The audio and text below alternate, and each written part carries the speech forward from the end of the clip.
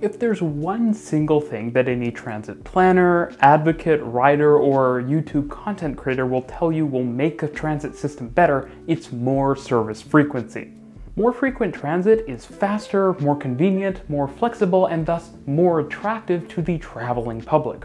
But like so many issues we face in public transit, often our desires run up against the realities of transit planning, system engineering, and vehicle design. So then, given that we all should agree that transit should be frequent, how can we design it to be?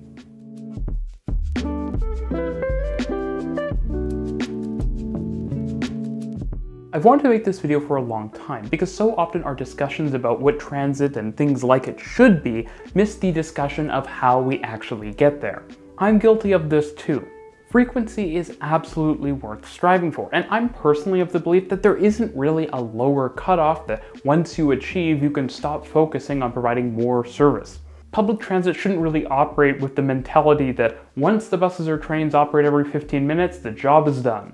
In a world where, at least on metro systems, you can often run two shorter trains instead of one larger one, we can basically always benefit from higher frequencies. I actually wrote an entire Substack article about this, so if you're interested in that, check it out down below. At the center of high frequency service are short dwell times. Dwell time is the amount of time that a train, tram, or bus dwells at a station or a stop. And to be able to operate high frequency service, each vehicle needs to be able to stop, unload, load new passengers, and get moving again as quickly as possible. So much of maintaining low dwell times on transit is about the vehicles themselves, which is part of why I focus on vehicles so much on my channel. The vehicles have real impacts and can impose real restrictions on the service that can be operated. You can have a vehicle which is designed to be conducive to high frequency service, and then you can have one that isn't. The most obvious way this manifests for frequency is the number of doors on a vehicle. Almost any vehicle with more doors is going to be able to board and light passengers faster than one with less. Compare, for example, a typical bus in North America with a typical one in Europe. North American buses often operate less frequent service and have less doors. And where this gets really problematic is the fact that there isn't even a North American bus company that currently makes buses with the number of doors that you'll see commonly in Europe, meaning that frequencies are kind of artificially restricted here.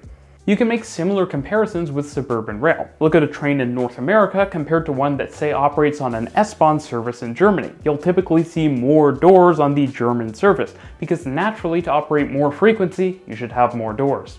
And in all honesty, you can even see this distinction with metro services.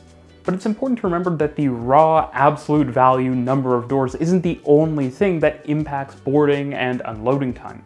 What's really important is the actual combined size of the door face.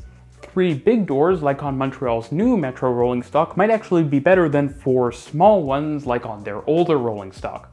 One of my friends was actually recently in Macau and shared with me that their LRT has enormously large doors, and it just goes to show how variable something as simple as a door can actually be. There's actually an entire science that deals with the scaling of doors, talking about things like passenger flows. And the reality is there are actually optimal door sizes that allow people to simultaneously get on and off without wasting extra space that won't fit an additional person. It's these things about public transit, like the sizing of the doors and how that can be an actual science, that I think people don't often appreciate. And the doors aren't the only passenger flow consideration. The interior layout of a train or bus is also super important.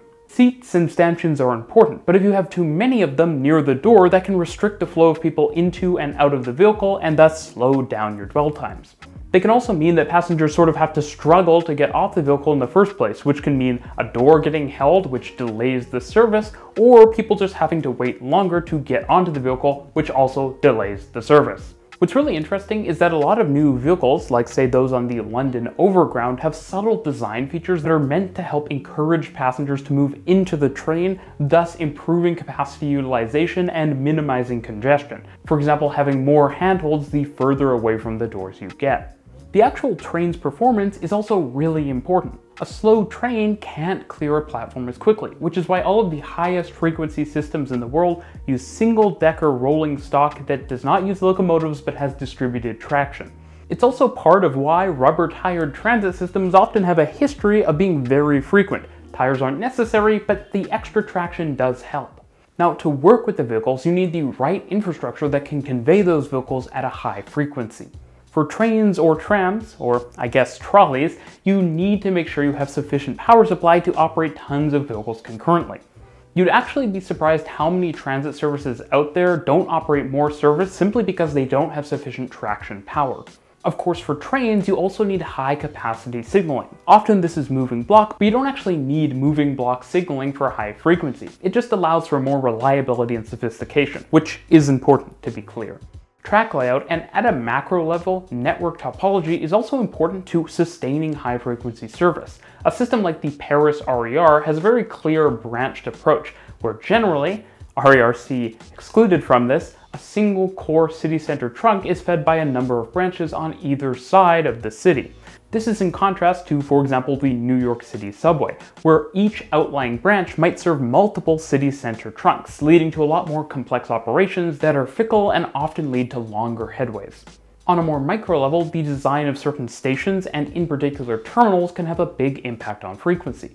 Loops can actually be a pretty good solution for operating a high frequency transit service, allowing the driver of a manned train to just turn around without having to go to the other end of the station. Loops can actually be a pretty good option, but they're expensive and take up a ton of space. So these days, the preferred high frequency rail terminal tends to have two platforms, side platforms typically, one dedicated to unloading and one dedicated to loading, with reversing sidings beyond the station. The operation of such a terminal works like this. A train comes in, unloads its passengers, goes into the reversing sidings, turns around, comes back into the loading platform, loads its passengers, and then heads out onto the line.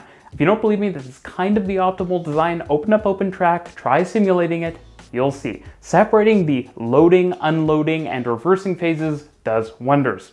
Speed is also super important. Restrictive speeds into and out of a station make operating high frequencies harder because each train necessarily has to spend more time in the station. Sometimes to mitigate this, older systems have added additional platforms at terminal stations to try to turn more trains when they can't necessarily all rocket into and out of the station. And none of this is limited to trains.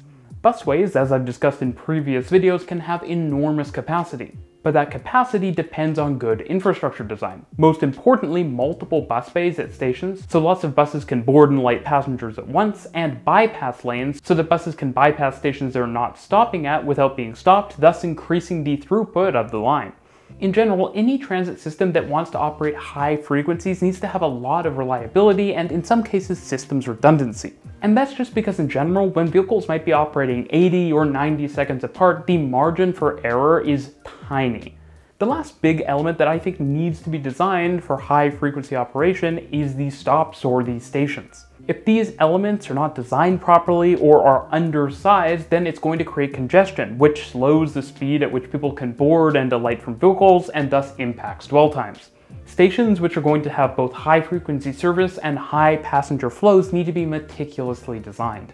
This desire for better flows at high frequency service stations has led to a number of interesting designs. For example, tons of stations in Spain use the Spanish solution, as well as the Stammstrecke in Munich, where you have platforms on both sides of the track, allowing trains to use all of their doors at once instead of just half of them to load and unload passengers. On a through-running mainline station, you also need to design for high frequency, but you need to adapt that design to the vehicles you're handling. Often intercity trains have less doors and thus need to dwell for longer, and so in the case of say Berlin main station or the new through running Stuttgart 21 station, each approach track actually splits into two tracks in the station that surround a single island platform.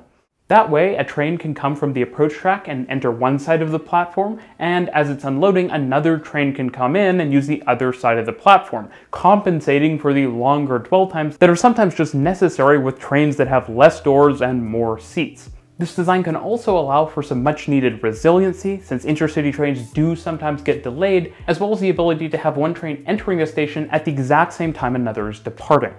I hope with this video you can sort of see that while almost every transit system out there could stand to have higher frequencies, these aren't something that happen by accident. Transit systems need to be conceived or sometimes reconceived to provide fast, reliable service while also providing a high volume of service. Thanks for watching.